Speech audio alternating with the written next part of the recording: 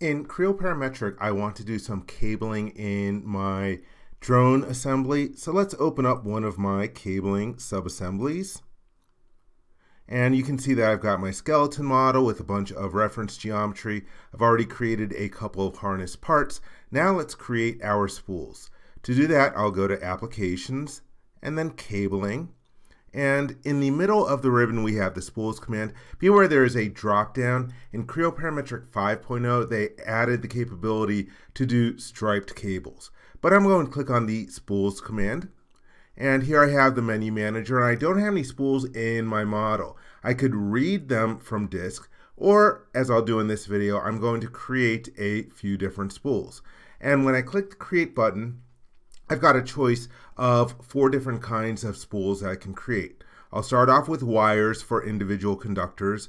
Later on in another video, I will create a spool for cables, which will have multiple conductors. You can also create spools for sheathing, which can represent bundling that you use to take a bunch of different wires and cables and put them together. And also you can do ribbon cables.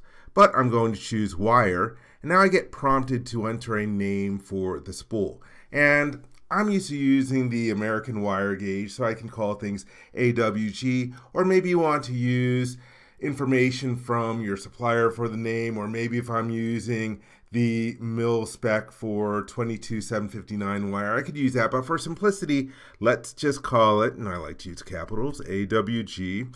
And the weird thing about American wire gauge is that the higher excuse me, the lower number that you have, the bigger the diameter. So it's kind of counterintuitive. And I'm going to start off, let's start off with some 12 gauge wire. And I'm going to name it black because it's going to be a black color. And so I'll hit the enter key and then you'll get the electrical parameters dialog box. And inside of here, I have a few different columns. By default, you'll get a name column and then you have type in here, minimum bend radius, thickness, units, and colors. I have another column in here added for my mass units because I'm going to use that later on.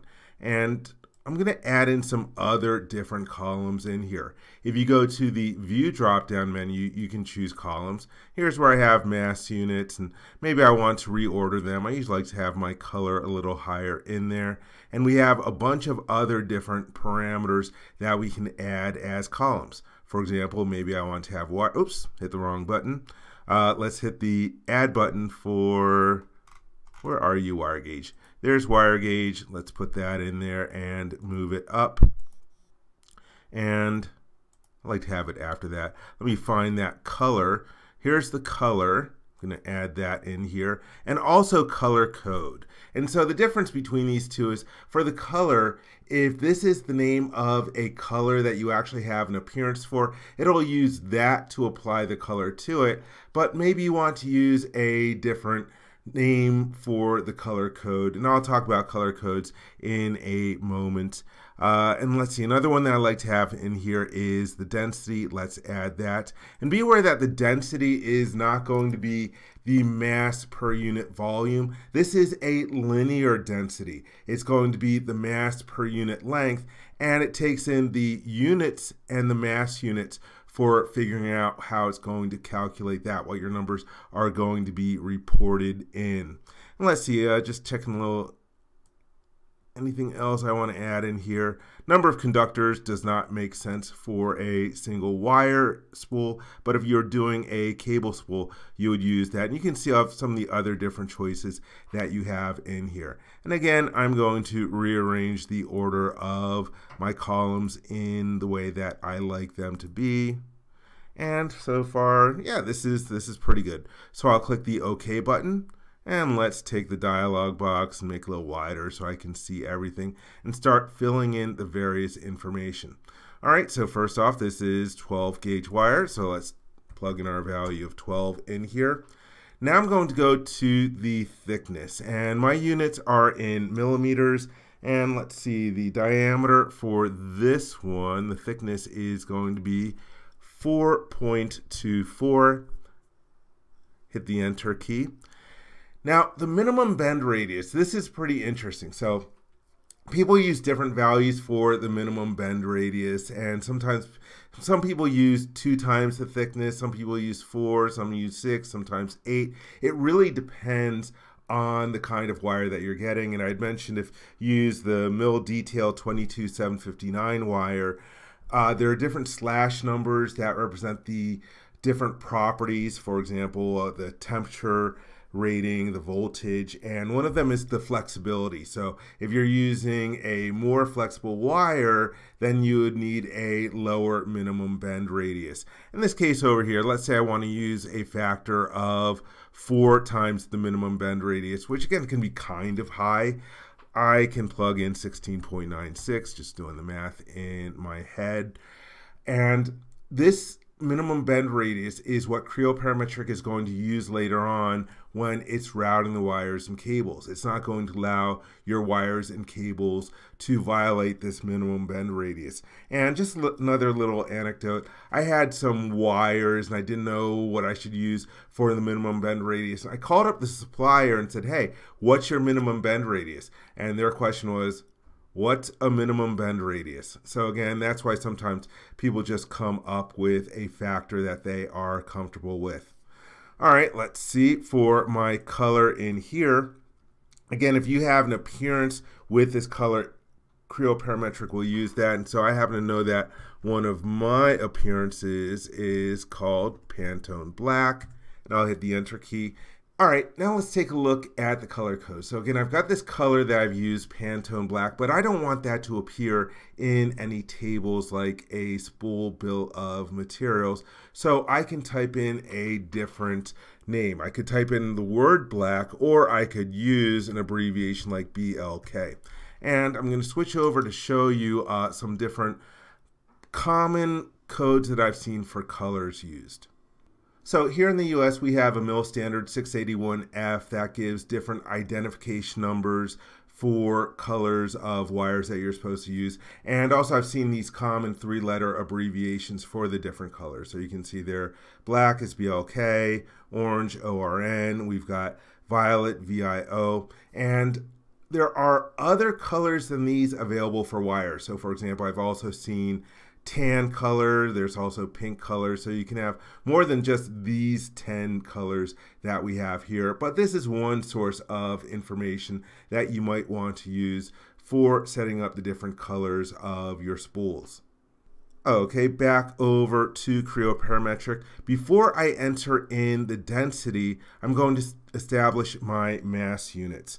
And this is if I click on here, I can go to the drop down list and we have a variety of different units in here. And I'm going to use grams. So grams per millimeter uh, length is going to be for my density. And for this, for the values I looked up, this is going to correspond to for 12 AWG 0.0513 and that way I'll, it'll be able to use this for calculating the weight of my wires if I include my wires and cables in my mass property calculations. So this is good for my first one. I'm going to click the OK button and that way I have my first wire created. Let me turn on my highlighting and you can see now that we have one wire created, we have a bunch more commands available to us. For example, if I go to the list, here we get this dialog box that shows that right now I have one spool that's called AWG12 black for a wire and I can click the close button. And if I want to edit a color, it'll list all the different ones in here. Right now I only have one, so it's only got one listed in there. So to make this make more sense, I'm going to create another wire real quick. Let's click the create button and choose wire and this one will be AWG. Let's use nice big wire, 8. And let's say that this is going to be a red color. And then, like before, I'll enter in my various information. So for example, for my mass units, let's change that to grams. And my density for this one is going to be a value of 0.125 in my set of units. Let's see, for my color, I happen to know that in my computer pan uh, on my setup, I've got a Pantone 185, which is a nice red color that I want to use. And for the color code, let's type in RED. So I can use that report in my, spill, my bomb uh, bills of material for my harness spools. And lastly, for the thickness, this is going to be 6.48. And for my minimum bend radius, let's use a value of, say, 25.92. Pretty big number there, almost an inch. All right, or over an inch. So that's good for this one. Oh yeah, for my wire gauge, forgot to fill that one in. That's going to be a value of 8, and then I can click the OK button. And now if I want to go edit my different spools, right now I just have red selected. I can select all and click the OK button. And now I've got the electrical parameters dialog box with both of these in here, and I can edit these. And maybe I say, oh, this minimum bend radius is too big. Maybe I want to use a factor of 2x instead of that. And after you change the colors, or excuse me, change the parameter values, you could click the OK button, but I haven't changed anything. Let's hit the cancel out of here. Now, one of the most important steps is that I want to be able to use these spools later on in other different harnesses. So I'm going to write them out to disk. Now I'll choose the write command. And then here we have our AWG8 red. Let me click the OK button. And that's been written, and it's been written out to my current working directory. Let's hit the write button again and then I'm going to write out the other spool and click the OK button and hit done return. And now I can use my computer. Let's go to here and I've got a folder that I want to use for these different colors and I see that it's they are going to be written out here. And these are .spl files. Those are text files and it uses the .spl extension. I'm just going to take these and move them to the folder where I want to store my different spools. Let's paste them in here. And so now, it's interesting that things that this is a shockwave flash object. Uh, now I'm going to set a config.pro option to point to that folder. Let's go to File and then Options, Configuration Editor, and I'm going to click the Find button. I happen to know that's called Pro Spool DIR, but if you don't know the name of the config option, you can type in the keyword, and here we have the value. I'm going to click the Browse button and change this to the correct folder. C Creo Cabling Spools.